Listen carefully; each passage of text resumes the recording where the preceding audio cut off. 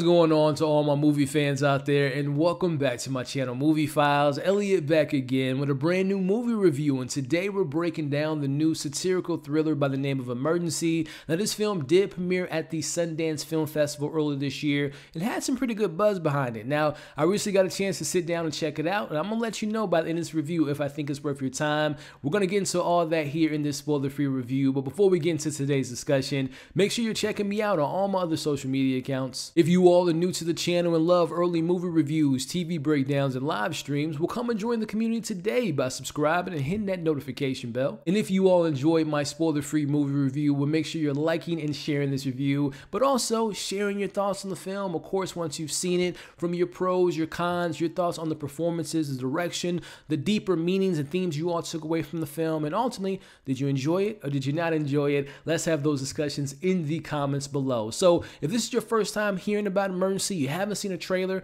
let me give you guys a little bit of backstory of what you can expect from this film. Ready for a night of legendary partying, three college friends must weigh their pros and cons of calling the police when faced with an unexpected situation.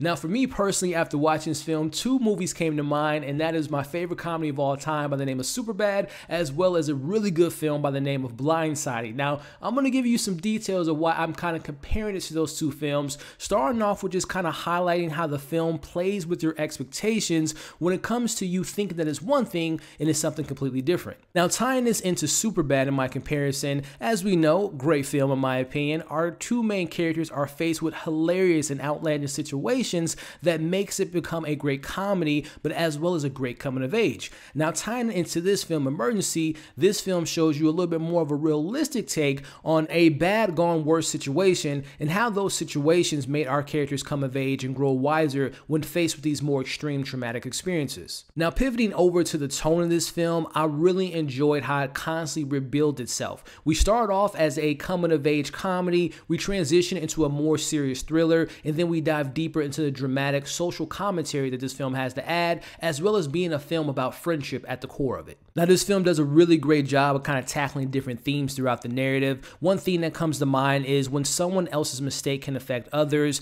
There's a lot of social commentary that I really enjoyed how they weaved into the main narrative. Things that come to mind, such as I didn't mean it like that type of conversation involving different people and how they view different situations, and diving a little bit deeper into the social commentary, mostly focusing on on the police. And one thing that this film does a really good job at displaying is the fitting the description or fitting the description of our suspect narrative that I thought was really highlighted really well in this movie. Now, one of the things I definitely want to take a moment to kind of shine a light on, which I think the film did a really good job at displaying, which is highlighting and breaking down the black experience versus a white person's experience and how their perceptions is skewed and also change even though their circumstances are exactly the same. Now, diving deeper into the black experience, this film does a good job at displaying the black stigma of the one black kid that can make it out of a situation or a black kid that has a very promising career, whether it's in their schooling and processing that and going on to do something to change the world. I think it highlights that type of narrative really well, as well as the whole idea of growing up in different circumstances, growing up with less resources, and how those expectations are completely different. Now, something that I recently spoke on on this channel is one of my favorite shows on TV, which is Atlanta, and they had an episode regarding the whole narrative of you're not black enough and how different black people have different experiences. And sometimes when that whole you're not black enough narrative comes about, it changes how people view you. You can be skewed more towards being more of a upstanding citizen or considered a thug or considered someone that's involved in drugs. So I think the film does a really good job of kind of tackling those narratives that we see, and especially speaking from a black man, those are conversations that we see a lot being held at the forefront of the conversation. Now, pinpointing a particular element in this film that really stood out to me without giving away, the way the film ends to me did a perfect job in displaying not allowing someone's guilt to enter into your headspace and not allowing someone's ignorance to affect you. And one of the things that I really want to applaud about this third act without giving nothing away at all most of these narratives that we kind of see social commentary black men in america police being involved we sometimes have a kind of a, a sad ending a hopeless ending but again not diving into the minutia this had more of a hopeful type of resolution to the story that i really appreciate especially when we see in today's media and movies things don't normally end well in these type of stories. And that's kind of the last thing I want to kind of mention. But I, I will say I really applaud how the film ended. Now, I want to switch over to highlighting the performances in this film, starting off with RJ Cyler, who plays Sean. Now, he is someone who's more focused on having fun and wants to embark on this epic night of spring break parties. Now, Sean has the whole night planned out, including hitting every party, which will be a legendary tour. And one of the things that I love about RJ, to me, I consider him one of those actors that just naturally conveys confidence and charisma, and he can make you laugh and cry all in the same film. And I thought that he was fantastic in this movie. But there's another actor that I want to highlight. His name is Donald Elise Watkins, who I've seen in smaller roles such as Barry Jenkins Underground and Amazon's Black Box. Now, he plays Kunle, who is down to have a fun night with his close friend, but he's mostly also concerned about finishing his project to help him get into Princeton and to kind of further his education.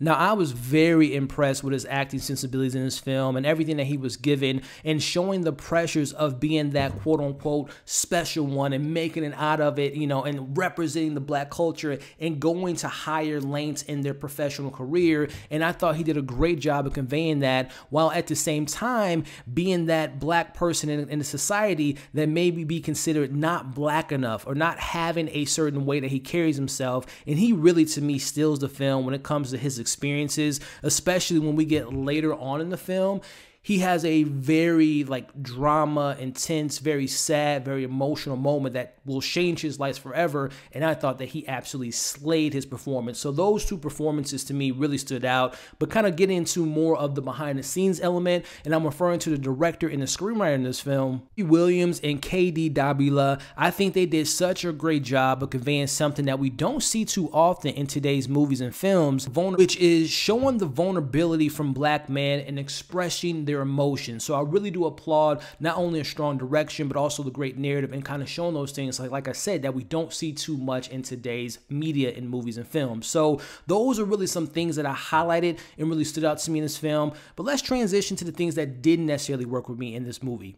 Doing my research on Emergency, I found out that this was actually a short film that turned into a feature film. And kind of knowing that, I can kind of see where those elements of them kind of adding more to the film and making it more of a feature length. And to me, those moments felt a bit underdeveloped as well as underwhelming. And I'm mainly focusing on and talking about the whole Emma and Maddie plot and the whole slide plot that they have with Maddie trying to find Emma. And again, not giving too much away, but when you all see it, you know what I'm referring to. But to me, that side plot wasn't as engaging nor as as interesting as the other elements in this film. Transitioning to over other things that stood out to me that didn't necessarily work.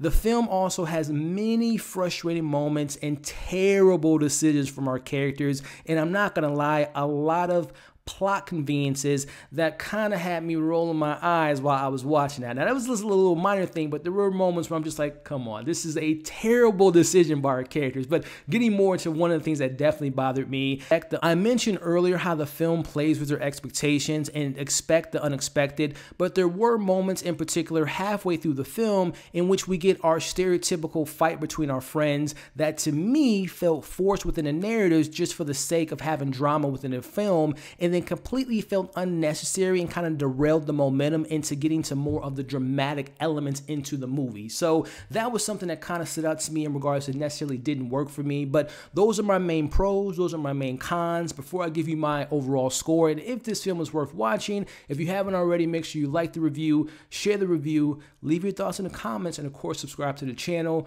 Overall, Urgency provides a comedy within the college last night big party moments, but slowly becomes at its core a story about friendship and a love story about two friends whose friendship is challenged due to an unexpected situation. And within that unexpected situation, it highlights their ideologies, which in return reveals a much deeper and much needed commentary about the experiences of some young black men in today's society. Overall, I'm going to give Emergency a 4 out of 5. Now, this film is available in limited theaters, but will be available to stream on Prime Video on May 27th. And based on my score and based on my opinion, I recommend you all give it a watch. And when you do, let me know what you thought of the film, what worked, what didn't work. Did you find it to be funny? Did you have good emotional beats when it came to the social commentary? What other themes did you all take away from the film? And like I said, did you like it? Did you not like it? Let's have those discussions in the comments. Thank you all for watching my review. If you enjoy what I had to say here, again, make sure to like, share, comment, subscribe to the channel if you haven't already, and hit that notification bell. That way you don't miss any of my future reviews. Hope you all enjoyed this conversation. Hope you're staying safe. As you can see on the screen now, come and join the community. Check out my other recent movie reviews. Check out my most recent review, and we'll catch you all on the next breakdown.